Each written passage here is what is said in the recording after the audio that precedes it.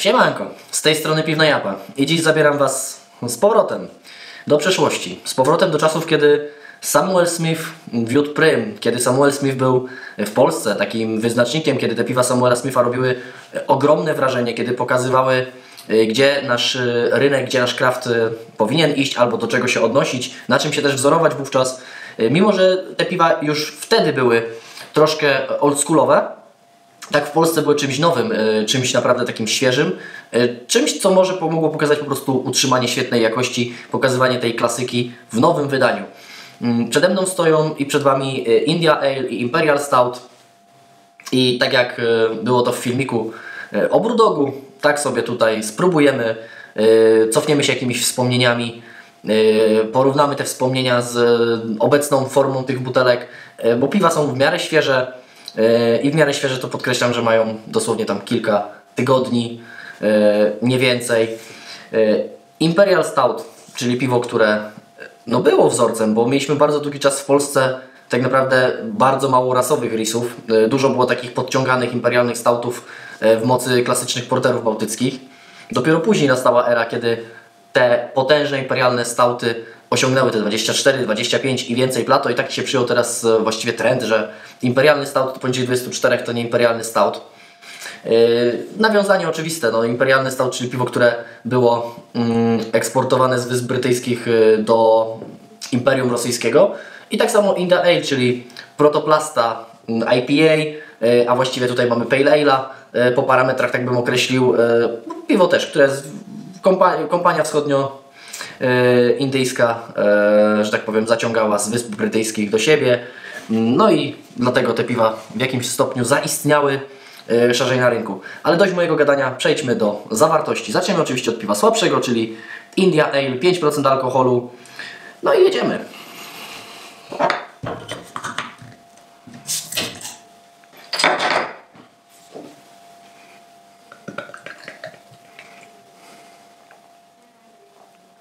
Ten kolor już jest taki dość bursztynowy, powiem Wam szczerze. E, to jest taki typowy e, angielski pale ale, czyli właśnie bardziej bursztynowy, bardziej taki ciemny, nie taki znowu jaśniutki. E, w kamerze on jeszcze ciemniej trochę wygląda niż na żywo, ale powiedzmy, że jest taki bursztynowy i, i nie, nie więcej, bo może na miedziany Wam wyglądać, ale nie. Jest bursztynowy, piana mm, kremowo-beżowa, no dość, dość ładna, Piwo zamglone, mm, takie w kolorze brudnej pomarańczy. Sprawdźmy co w aromacie. Dużo nut takich ziemistych, dużo nut e, słodowych. Trochę trawiastości na pierwszym planie. Taka lekka nuta jakaś e, dzika mi się pojawiła, której jeszcze nie, nie, nie, nie rozpoznałem. Cytrusów na pewno nie ma. Jakaś taka kwiatowa nuta, lekko mm, owoce takie tutaj nasze polskie, jakaś może krzak truskawki.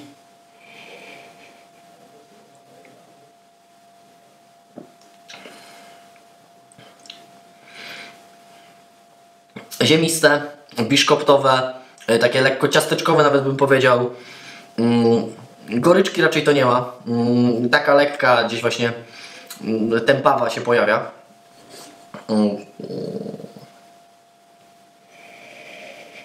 Ma coś takiego w aromacie, co ja bym określił, że lekko jakby gdzieś dostawał dzikusa. Mm, taki lekko uciekający w stronę kwaskową nawet aromat. Trochę karton się taki pojawia, trochę miodowy.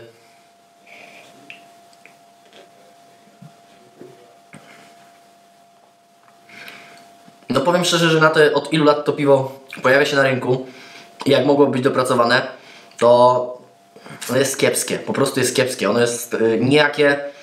Mm, ja chyba trochę inaczej to pamiętam. Ono było bardziej zbliżone do tego, co mogliście zobaczyć w filmie y, o Brudogu. Mm, jeśli ktoś nie widział, no to znajdziecie gdzieś tutaj y, wyskakujący link. Albo tutaj. Nigdy nie wiem, z której strony to się pojawi. Ale generalnie, no nie, no nawet polskie początki były no dobra, nie, nie były. Były na tym samym poziomie, też zdarzały się, się takie ale, yy, pale ale po prostu. Przepraszam. Yy, może coś dla koneserów, ale generalnie Samuel Smith India Ale w kiepskiej formie. E, Spodziewałem się, że będzie w lepszej, no niestety e, kiepściuteńko, kiepściuteńko i pada legenda Samuela Smitha, jeśli chodzi o to piwo In The Ale.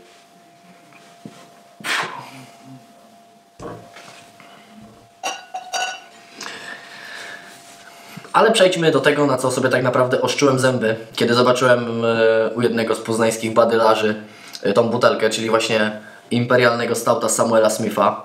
E, Lubiłem zawsze to piwo, ono było fajne, ono było takie dość klasyczne, ale z drugiej strony nie było nudne. No i też tak się pojawił właśnie pomysł, że a dobra, chwyćmy jeszcze te brudogi, chwyćmy India Ale'a, zróbmy coś z tymi piwami. No i sprawdźmy, co się kryje w imperialnym staucie.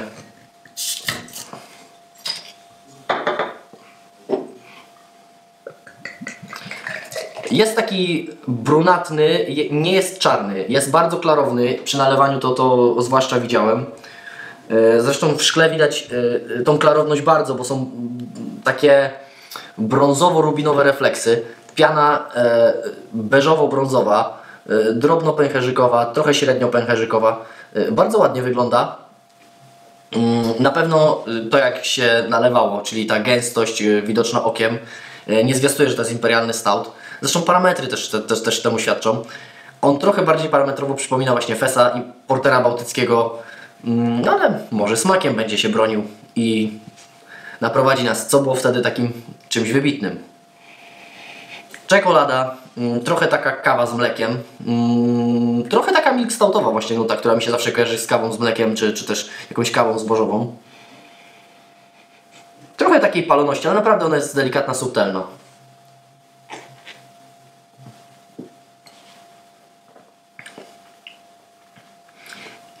Mleczna, lekka czekolada, y, odrobina kakao, właśnie ta kawa.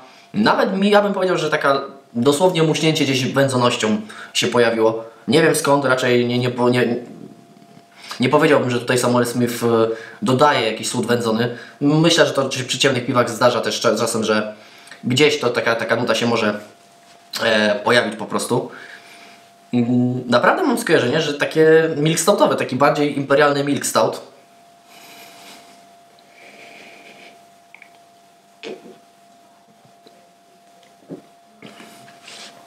bardzo lekki, mm, ale ma też taką nutę goryczkową, gorzkiej czekolady przy tym. Przy drugim łyku ta paloność e, jeszcze bardziej wychodzi. Ale do imperialnego stouta, do jakich przywykliśmy, na pewno to, to nie ma e, podskoku. Ale jest za to bardzo przyjemnym mm, takim właśnie stoutem mocniejszym, nawet nie fesem. Bo mi też mi się wydaje, że na fesa brakuje mu odrobinę charakteru. Taki imperialny milk stout w tą stronę, e, oatmeal stout, o, to, to są dobre skojarzenia, jakie mam z, do tego piwa. Bardzo przyjemny, bardzo gładki, bardzo aksamitny. Ten, ten aftertaste, który zostaje z tej gorzkiej czekolady jest taki fajnie rozgrzewający, taki lekko likierowaty, ale nie przez swoją strukturę gęstość, tylko właśnie przez ten taki posmak. E, Naprawdę bardzo przyjemne, naprawdę e, fajne i chyba na Samuel Smithu na Imperialnym Staucie nigdy się nie zawiodłem, jeśli szukałem czegoś takiego jak właśnie to piwo kiedy po prostu chciałem sięgnąć sobie do wspomnień y, i uśmiechnąć się popijając y, to piwo, jak kiedyś to było. Y, Mam w głowie jeszcze jedno piwo, tylko musiałbym zlokalizować, czy gdzieś po pierwsze dostanę świeże, a jeśli nie, to czy mam jeszcze butelkę gdzieś schowaną. Mowa o Rasputinie.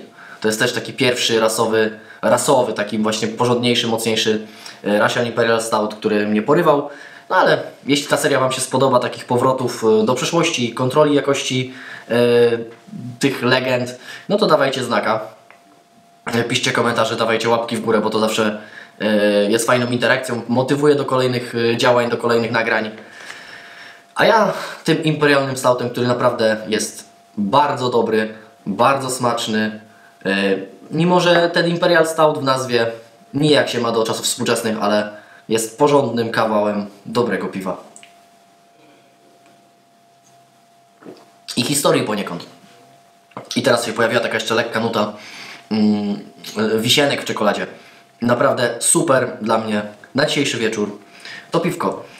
Yy, tak jak wspominałem, jak Wam się podoba, no to komentujcie, lajkujcie. Yy, jeśli chcecie być na bieżąco, no to subskrybujcie kanał. Yy, a ja się z Wami żegnam i widzimy się w kolejnych materiałach na moim kanale. Ale też śledźcie moje media społecznościowe, Instagram, Facebook, tam jestem bardziej na bieżąco, tam rzucam rzeczy takie codzienne, e, nie tylko piwne, też e, inne hobby, inne e, tematy właśnie niezwiązane z piwem, więc śledźcie i widzimy się. Na razie, cześć!